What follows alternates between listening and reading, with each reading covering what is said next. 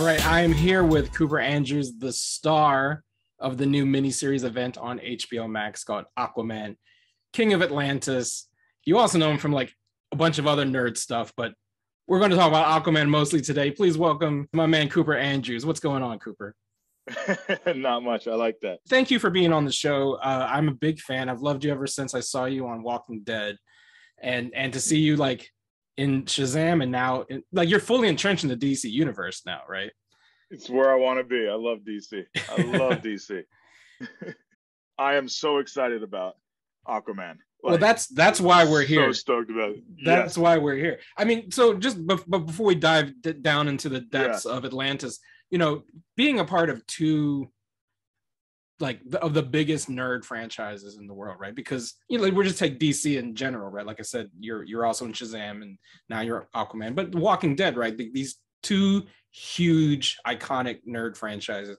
Were you a nerd growing up? Like, what what was it? What is it like for you to kind of be, you know, kind of a king of San Diego Comic Con right now, right? You know what I mean? I'm a I'm a court jester at best, but the no, you are royalty now. You you can't deny it. You are literally royalty now. Maybe the instruction card. Um, uh, what? But what was that question? no, just what is it like? To, I mean, one, were you a nerd growing up, and then if oh, if so, yeah, like, uh, what's it like now to kind of like have these mega franchises under your belt? I mean, to me, see, I always got. I mean, wait, I can get into the semantics of the terminology. To me, nerds were always the ones. Nerds can be people that were in to the geeky stuff, but also really smart. Me, I just did the I'm not the really smart part. I just liked all the liked all the franchises. I was a DC fan from the beginning. Superman uh, was uh, I mean, I was raised on George Reeves, Chris Reeves, yep. um, and uh, the old cartoons where like uh, they dealt with things like physics where someone would fall from a building and he would alley oop the guy back up so that, so that if you just catch a body doesn't splat. Um, uh, all the action figures. I remember I was, uh, uh, I mean, I had all, all the toys. I collected, uh, I collected DC comics, mostly Superman from, oh geez, 91 uh, till 2000, uh, 2002 or so. Nice. Was, uh, so like that's like Death of Superman and, and all that yeah. stuff. Yes, yes, yes. And like Reign, and then like him turning blue, blue red, electrical, then, electric Superman. yeah, what, what, was ever happening? What was happening like, yeah, it's weird that that's uh, never gotten adapted into a movie or animated. red yeah, blue yeah. Superman. I yeah, those are some those are some uh, lean times in the Superman canon. I'll say that. yeah. Um, uh, but no, always always been a fan uh, just of the to me the difference between and and, and I love I love Marvel sure. as well, but the um it's never a Marvel or DC guy. Well, yeah, guy, we can't. But, we love all of it, right? Like, does yeah, do we have to choose? You know? yeah, it's like I ain't choosing that. It's like I'm the guy that gets uh, pizza and Chinese food. There you go. yeah, I don't exactly uh, choose. Um, uh, uh, but yeah, the DC. What I loved about DC and what I love about all their heroes is that their heroes um, all had to make a choice. Like they all had to make the choice to become the hero. Like that, right. you know. It, like forced on them a little bit, but I always felt like when it came to the Marvel, uh, for a lot of Marvel characters, is sort of they were they were born this way and they sort of lived their life. Um, they try to live their life regardless, and and then uh, with the with the DC, you know, there's always they're there to make a difference. You have Batman doesn't want to see anyone uh, like he doesn't want to have his childhood on anyone else. Superman right. who has all these powers, can do whatever he wants. But you know, the the one thing is to uh, you know protect uh, Wonder Woman, who sees you know uh, injustice in you know the world of man, and you know has to do it. And then you have Aquaman, who's uh, you know a guy who he had his life. You know, he was doing his he was doing his things. He was he was running his life, and now he has to be able to take his experience uh, of just being just being a man to you know you know protecting an entire ocean. Mm-hmm. um, we say you know it's you know it's a lot you know it's like kingdom you know ruling is really more about just protecting and like how to you know how to make everyone better. That's the so no one gave themselves an, an easy task of becoming you know but they all chose to become that hero. Right right right right. No i mean that, that's absolutely right. I mean that's kind of what i've always been drawn to the dc universe more so as well is that like you know and, and i think there's a a misperception about DC because people always say it's like these gods that you're that are unrelatable, and it's like you, that's just surface, right? You're not really reading oh, these yeah. stories in because like someone like a Superman, like you mentioned, I what I love about you know people are always like, well, he's he's too powerful, he's OP, you can't relate to mm-hmm. Superman, but he's actually the most human of all the superheroes, right? Like because what's his weakness? It's not kryptonite. It's his love for right. humanity. You know what I'm saying? Yeah, it's his, and I exactly the uh, uh, uh, what was it? The uh, Superman Returns. That that line, I love that line so much. Where he's like, he's like flo- uh, floating Lois up, and he's like, "What do you hear?" And she's like, "Nothing." He's like, "Well, I hear everyone. You know, I hear everything, and and I hear all these people crying out for a savior." And I'm like, Superman is like in his mind, I mean, I, you know, however you want to take it, but it's almost like he's almost like the biggest failure um, because because he can't he can only save he can only save so much, and he can't. But he knows it's all happening. Right. Um, so that's the uh, that's what I love about it, you know. But like you said, there's the yeah, he's super powerful, but he's not trying to like just beat up people or like you know like stop bank robberies. He wants you know there's a person in trouble, no matter the the cause, he wants to to help them, and I think I think that's sort of shared. Uh, that's that's definitely shared with Aquaman um, in our uh, in our story, and just that uh, there's not a I don't know there's not a problem too small. yeah, well, yeah. Let let so let's dive in. Let's dive. I'm going to use a bunch of silly ocean puns probably for the rest of this episode, but like, but let's dive in, right? Because like what I love about kind of this new generation of Aquaman, because you know we're two old head DC fans, right? And for the longest time, Aquaman was this blonde haired, blue eyed, you know, prototypical superhero. Along comes James Wan. He says, you know what? Let's let's cast Jason Momoa as Aquaman. Let's put a Hawaiian oh, yeah. dude, an islander, as as the ocean's protector. Which like, why did no one think of this for 50 years? Right? Like this makes total right. sense. And what I love about your casting, to be completely transparent, is that like it almost canonizes Aquaman as Polynesian. You know what I'm yeah. saying? Uh, yeah. Talk about the you know this and this is not a spin-off of the of the movie uh, franchise whatsoever, but it is you know executive produced by James. Did you like what one? What was your impression of, of Jason's kind of take on Aquaman, and how how has your life experience kind of like informed your take which is wildly different from Jason's, right? Let's just be yeah. clear. But you know, I, I, I, I just like again, maybe this is surface, but I, I just love the idea that Aquaman is now 100% Pacific Islander.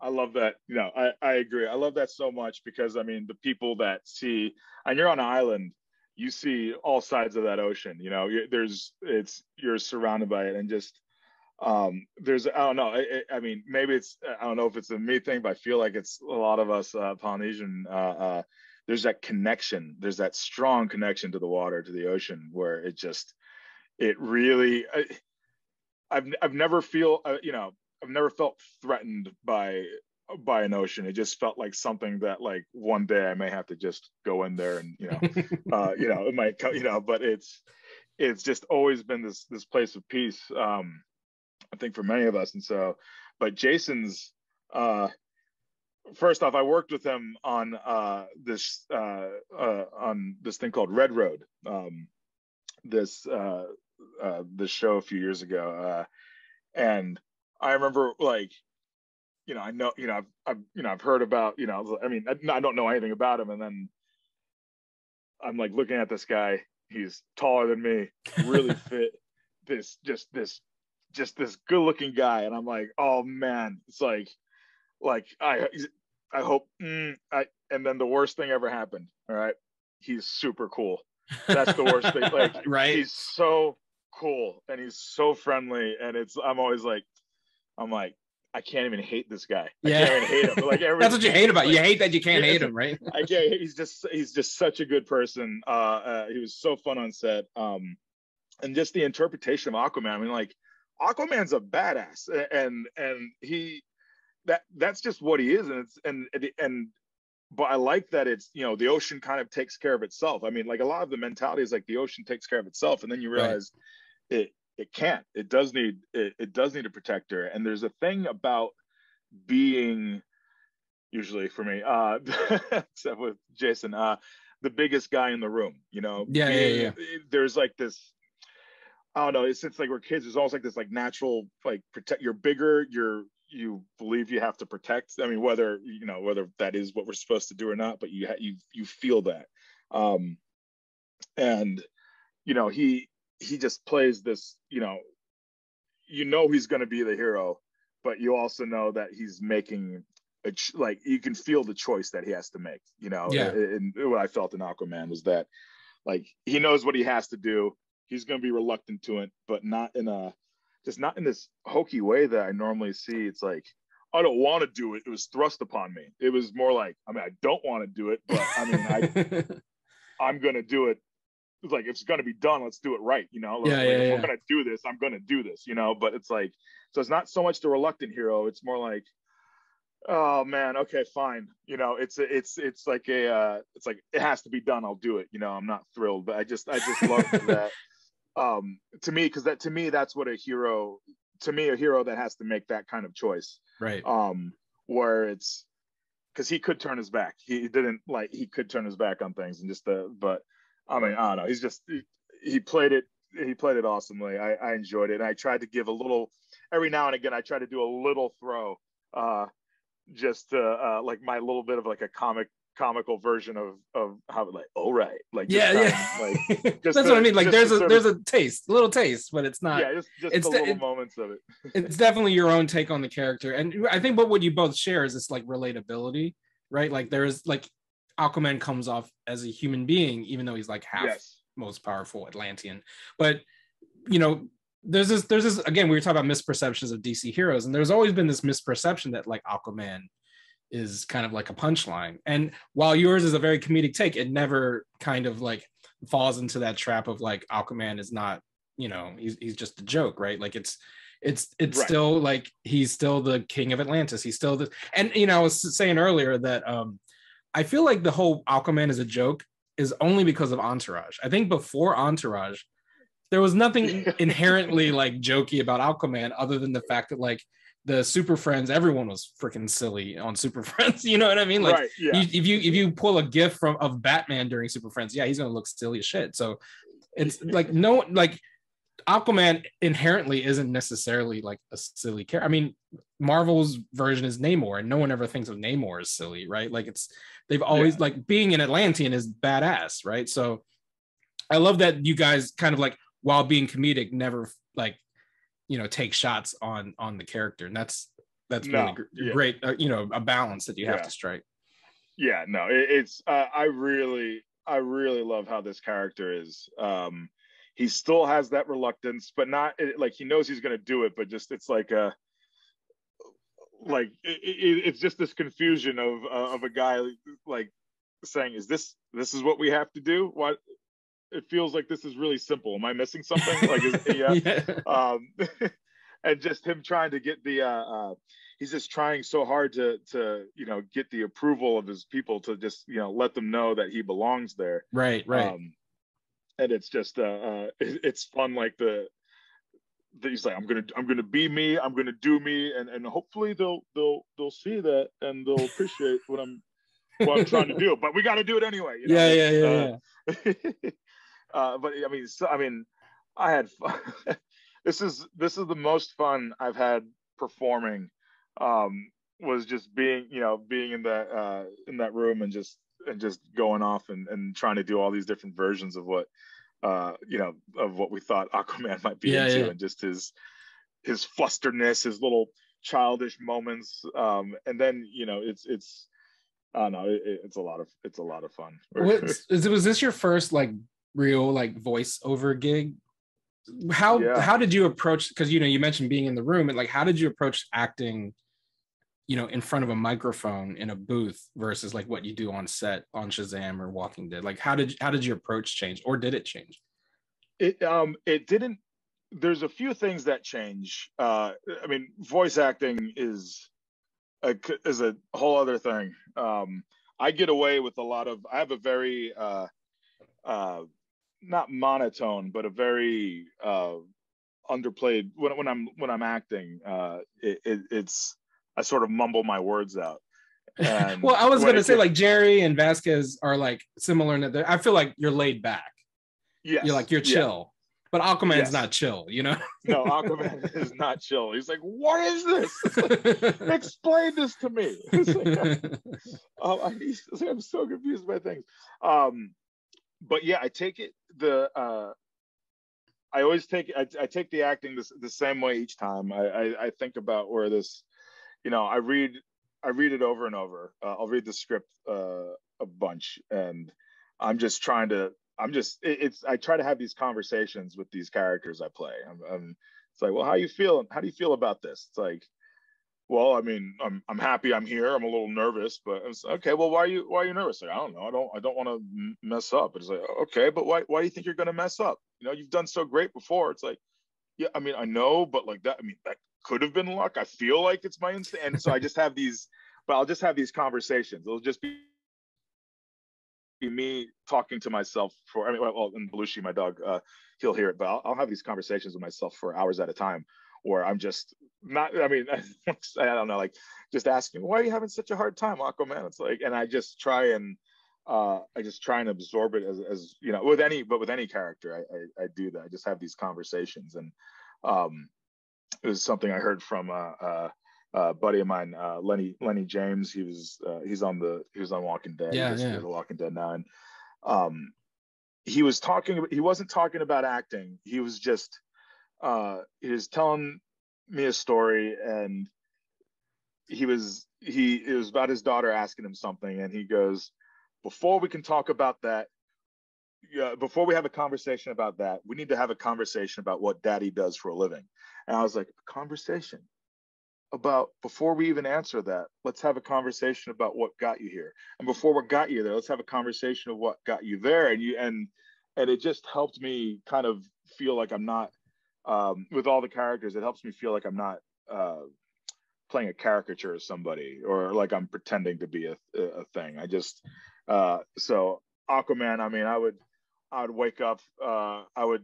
It's like a 30 plus minute drive to get to the uh, recording uh, studio, and I would just start like singing in the car and like just doing all these like vocal warm ups, and I would just like, you know, and I would just be so excited and pumped when every time I uh, I showed up there.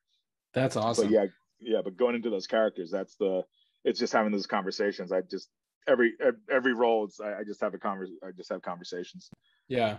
Well, I mean, I'm I'm so thrilled that you get to be Aquaman, and and just to hear that you you're a big DC fanboy, this must be like a dream come true. Because it's one thing to play like yes. the stepdad in Shazam, and now yes. to be like the actual superhero. That's got to be so yes. cool. No, I, I mean it is. I mean, you know, I mean, uh, oh geez, like Batman animated series. You know, when you just first hear like uh, uh, Kevin Conroy's voice, I'm like, who? Who is that? I think he, I think he inspired a lot of us. You know. Yeah, yeah, hundred percent. Sure, he has. Um, and and just just how and it, and it wasn't. It's not lost on me. I'm like, what these cartoons are what, like those cartoons are what made me want to do you know acting. It's like, and I was like, oh, this is fun because it's not so much I want to act per se it's i just want to help tell this story. Right. And I, I, want people to feel my excitement uh, uh, through all these all these things i do. Um, i just love sharing i, don't know to, to, me acting is just sharing is just sharing like uh uh well, just sharing your feelings right? But that's yeah uh, yeah yeah yeah. but i just want i always love just sh- like it oh i'm always having fun when i'm on set whenever i'm performing and and just being able to push that feeling out. And uh, maybe hope hopefully you know get some you know people in 30 years will be like, hey, I listened to that guy. Yeah, well, and and, and Aquaman made me want to be an actor, right? Like, anyway, I am so thrilled, as I said, for Aquaman, and just you know getting a chance to chat with you. Uh, this has been real fun. I hope to get another chance in the future. How can people find you on the internet, and and when can they find Aquaman, King of Atlantis? Uh, I am Smug Orange. Uh, was named after a pet fruit that I kept in my freezer uh, with my buddies, and we kept them in there for four years. Uh, Whoa, that's a whole other story for another podcast. yeah. Uh, so uh, Smug Orange uh, on on Instagram and Twitter, um, and October fourteenth, October fourteenth, guys. Aquaman King of Atlantis begins, and it's HBO Max. Awesome, HBO Max. HBO Max. Well, Cooper, thanks so much. This is, like I said, has been fantastic, and I am so thrilled for the rest of the world to check out King of Atlantis because it's going to be dope. Oh, thank you so much. I'm I'm excited for everyone to get into this. This is this is fun. Like watch with your kids, but as adults, you're gonna enjoy it it's so much. that's the so best cartoons, right? Like that's the classic WB cartoon, right? Like yeah. Kids can get it yeah. but adults really get it. Yes yes and and there's plenty. I, I, it's it's gonna be a lot of lot of fun. That's awesome. Pop culture with a different perspective. Watch it on your screen hit play so check this